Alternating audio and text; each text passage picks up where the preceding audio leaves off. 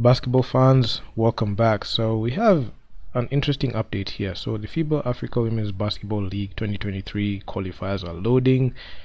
The venue is kigali rwanda. The dates are set at october 28th to november 4th 2023 so the kenya representatives kpa women's team and equity hawks. So this is actually quite interesting because i was gearing up to seeing kpa and zetech going there and the first thing that came to my mind is why is Zetech not going there despite the fact that the Equity Hawks got swept brutally. It was not even a close contest by the Zetech Sparks. So that's one thing that I saw. Then, just when I was scrolling down to that post, I came across this. So this guy asked, why Equity? I thought Zetech were runners, were the runners up last season. So KBF in their fashion, Zetech were unable to travel.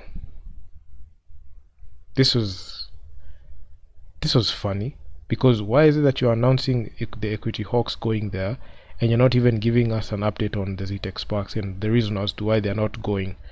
So this is um, it's baffling. It's very baffling, and I've not seen the Zetech Sparks come up to the statement saying that they are not sending their team there. They have not brought us. They did not come out with a statement saying that, but you could see how KBF in their communication that they want the the communication that they said they're going to like change up on.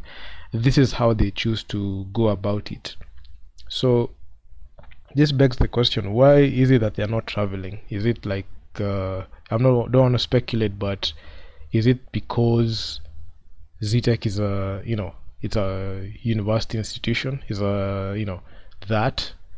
And why is it that this information was not presented earlier and it's just presented it's just presented like some time even before even the road to Balas kicked off for KPA which was at a, which was at a time where I was just gearing up towards that. So this one just raises a lot. So on to the next one I saw this and it was actually quite good news. And this is actually one of those things that excites me. At least we have two officials going out there going outside our borders and you know representing us well. So you see Hazel Agina and Eric Omundi on their nomination to the nomination by FIBA accompanying the referee referees for and Equity Ladies teams heading into the qualified for the Africa Women's Basketball League to be held in Kigali, Rwanda from October 28th to November 4th. So they'll be going with the women's teams, the KPA team and the equity team. And we need to have more referees, Kenyan referees, not even like going to such tournaments, but also representing in Road to Bal and also the BAL and also FIBA events like uh, the FIBA Women's AfroBasket, which came to a close this year. It was this year, Road to Bal. We need to have referees there. So this is actually a good first step, and hopefully we'll have competence in referees based on like the performance of these two very good referees that have just been sensational, especially when it comes to like officiating the game. They they're not that boring I feel like they are not that rigid. I feel like they have shown a level of professionalism that I've not seen in any other Kenyan referees. So this is actually a good thing. Then KPA. My God, when I made a video uh, this earlier this week just talking about KPA and the fact that people are watching the performance that KPA are going to pull, especially in this road to Bal, because this might be the last one in like a year or two years, given the dominance the Nairobi City Thunder, their newly formed Nairobi City Thunder. If KPS slip up here, this outcome will dictate whether they'll make it to the finals or not. And judging by the way they have been making like some roster changes, so we lost uh, the KPA lost some some few pieces in the off season to gear up for this campaign. They altered their chemistry and this was uh, this is actually one thing that really really has frightened me a lot because we're seeing Joe Byron is here, Ty Jordan is a new face, Lukman Lundi is a new guy, Bright is a new guy, Ariel Okar is a new guy, and this guy I don't want to butcher his name, but you're seeing one, two, three, for five players added to the roster. So that means these five players will want touches on the ball, and these five players will most definitely alter the team chemistry. I don't know if KP have been playing because so far they only played two games, and given the fact that they've only played two games the regular season, they have been gearing up towards this, and this just looks like a panic last minute acquisitions. And I'm not sure if KPA can be able to pull it off given this roster. Because what we have seen what they did last year when they brought new players, both the men's and women's teams.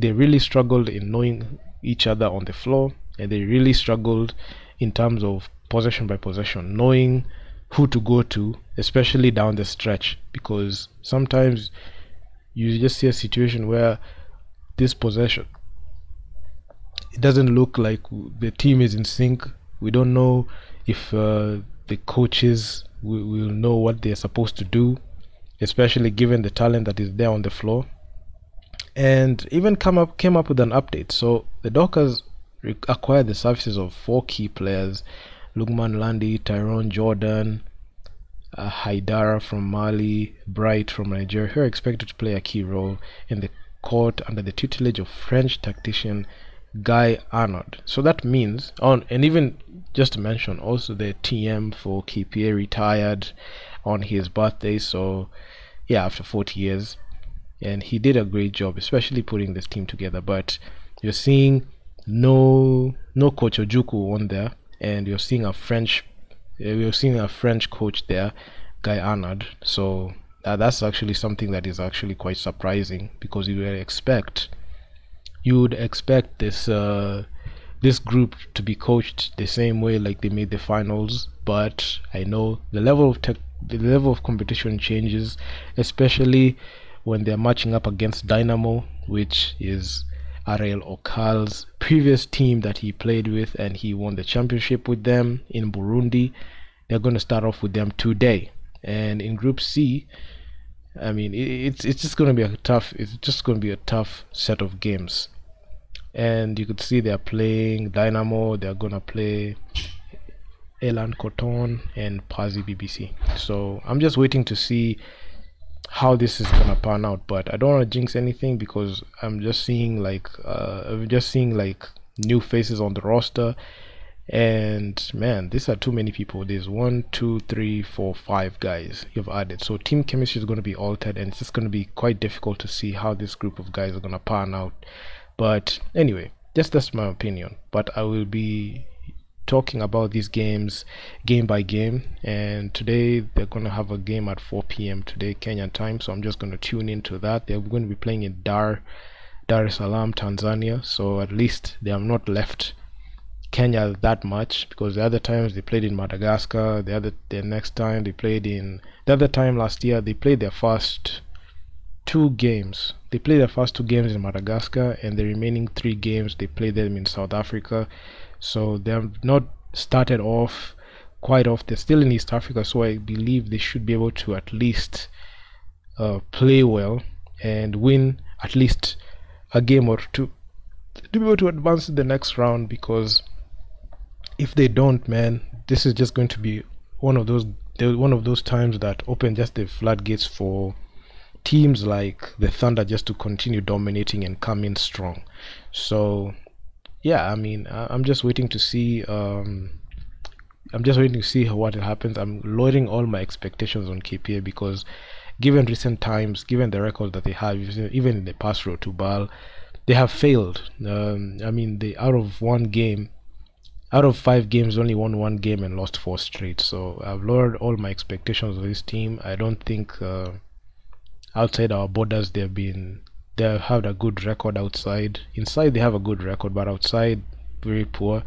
Even same case goes to like even the women's teams, Equity, Equity, and also Equity and KPA. Although KPA won the championship, remember they were in the Africa Women's Cup last year, like a time like this, and they failed. Also, they are in a time like this in Zone Five.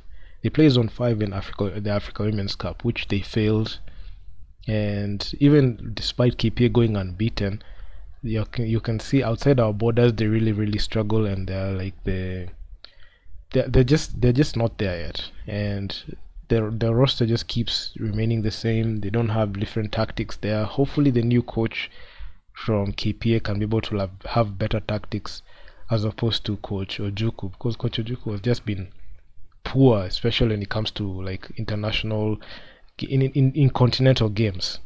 In continental games, he has just been poor. Hopefully, this uh, this French tactician can be able to do something and also like just change up the way the game is being approached because man it's just uh, it's just been pathetic especially for KPA but hopefully things change this year if they don't do anything significant and you know consistently trying to find a way to win games I can say this can be the last time they make it to Road to Bal because last time this year maybe this year they can lose the championship if they are not careful because a team like the Nairobi City Thunder are gearing up and they are on the way to come in and just take to take that ticket to Road to Bal. So if they just fumble here, this might be their only chance. 2024 they might not make it.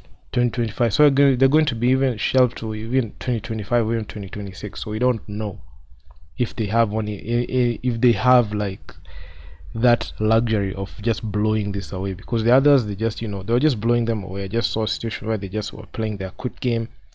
But hey i mean uh, that's just my opinion. So please drop me your comments in the comment section down below on what you think. Man uh, i'm just waiting for these games. I'm out. Peace